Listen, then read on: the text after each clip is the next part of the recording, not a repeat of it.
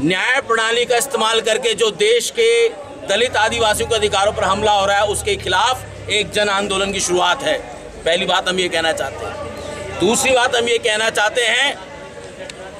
कल हम लोगों ने तमाम सामाजिक संगठनों से, पॉलिटिकल पार्टी के लीडर से, चाहे वो कांग्रेस हो, चाहे वो भाजपा हो, चाहे वो बहुजन समाज पार्टी हो चाहे वो चंद्रबाबू नायडू की तेलुगु देशम हो, चाहे टीआरएस हो, समाजवा, समाजवादी पार्टी हो, हमने तमाम पॉलिटिकल पार्टी के लीडर से निवेदन किया है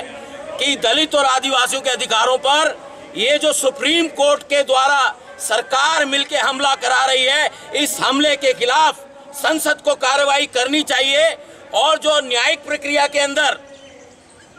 जो फंडामेंटल जुडिशियल प्रोसेस है जिसको सुप्रीम कोर्ट और हाई कोर्ट के बहुत सारे जज नहीं मान रहे हैं। उन जजों का पार्लियामेंट में इम्पीचमेंट होना चाहिए। खास तौर से जो दो जज हैं, क्योंकि देश में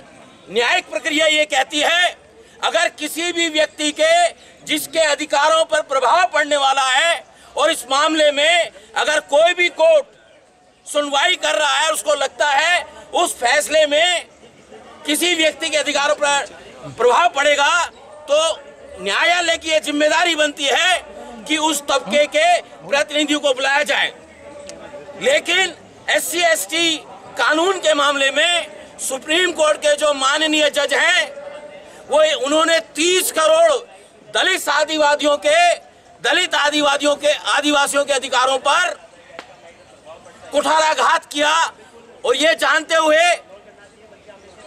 कि जो 30 करोड़ दलित आदिवासी प्रभावित होने वाले हैं, उनका कोई नुमाइंदा सुप्रीम कोर्ट के इन जजों के सामने पेश नहीं हुआ। सुप्रीम कोर्ट ने उनके किसी भी नुमाइंदे को अपना पक्ष रखने के लिए नहीं बुलाया। हम मानते हैं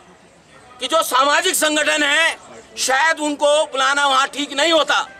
लेकिन देश में National Commission for Schedule Caste है, National Commission for Schedule Tribe है तो